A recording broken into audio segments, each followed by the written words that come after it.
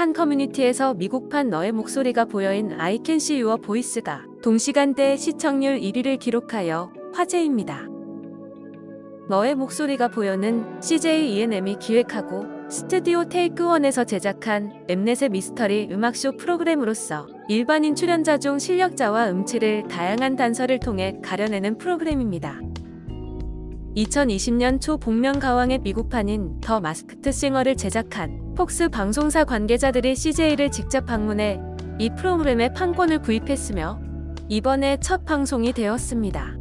한국에서도 유명한 한국계 미국인 배우 켄정이 진행자로 낙점되었습니다.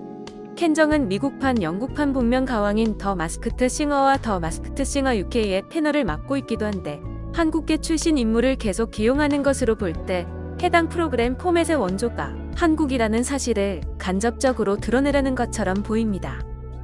I Can See Your Voice는 미국 지상파 채널인 폭스에서 prime 시간에 방영하여 동시간대 1위를 기록하였으며 미국에서만 460만 명이 미국판 너의 목소리가 보여를 시청하였습니다. I Can See Your Voice 첫 방송 직후 해외 언론에서도 호평이 이어졌습니다. 영국 유력 일간지 가디언은 올해 가장 특이하면서도 가장 재미있는 예능이 혜성같이 등장했다고 평했으며 미국의 유명 업계 전문지 버라이어티는 코로나19 상황으로 개인 시청률이 감소하고 있는 상황임에도 불구하고 첫 회부터 견고한 점유율을 보이며 대비했다라고 평가했습니다.